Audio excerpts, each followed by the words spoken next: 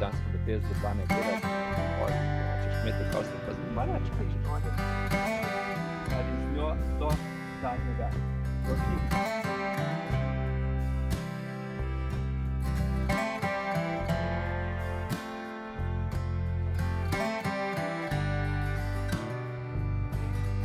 Jaz sem se prej, enkrat, ko sem še delal na televiziji, po naključju nekje srečal z eno čredo oslov tam na Štajerskem in da so to zelo lušne živali. Zelo nezahtevne, zelo karakterne, malo drugačne, kot je običajno. Mislim. In pa sem rekla, ok, dajmo osle, ker tudi eh, podnebje je tle dosta optimalno. Ne? ti osli, ki so v zahodni civilizaciji, so prišli iz Afrike, iz afriškega roga. To pomeni, da so prišli iz enih skrajno neugodnih, skrajno vročih, neprijaznih razmer, Etiopija, Eritreja, Somalija. Tam jih je samo še nekaj sto divjih in so navajeni zelo, bi rekel, minimalnih pogojev za živeti. Predvsem pa jih vročina niti slučajno ne moti, ker so jo navajeni. 6000 let nazaj so jih začeli civilizirati v Egiptu in Sudanu, današnjem, in potem so jih Rimljani pred 2000 leti privlekli v Evropo. V Evropi jih 99% uporabljamo itak tako, kot testo, se pravi, so to ljubljenčki, ne delajo nič, jih imaš zato, da ti pasejo, zato, da jih mogoče jahajo otroci ali pa kaj takega. Po nekem deset let starih podatkih, novejših ni, naj bi bilo nekih 40 in več milijonov otrok po svetu tega jih torej 39 milijonov, jih je posod druge kot v Evropi. V Evropi jih ni niti milijon.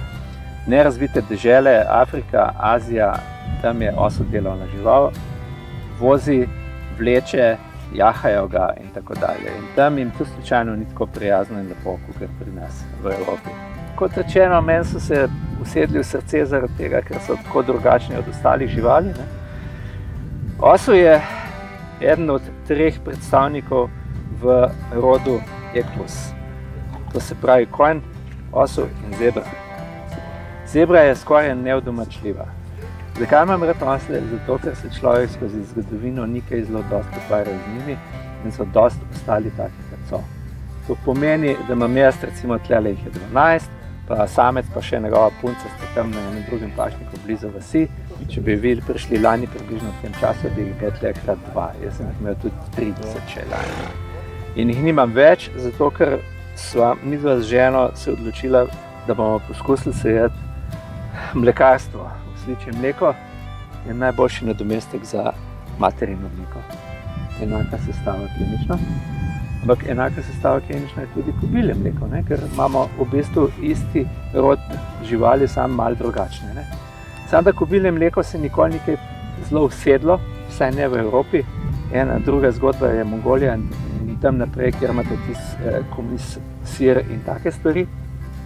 Ampak osliče mleko je pa v Mediteranu, predvsem Italija, v severnem Mediteranu nekaj vsakdanjega.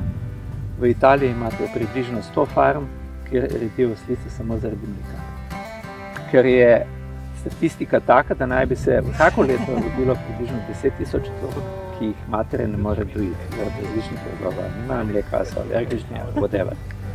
Na Hrvaškem je precej farm, v Bosni, v Srbiji, Črni gori, posod je malo več tega, ker je to še vedno mediteran. Ne?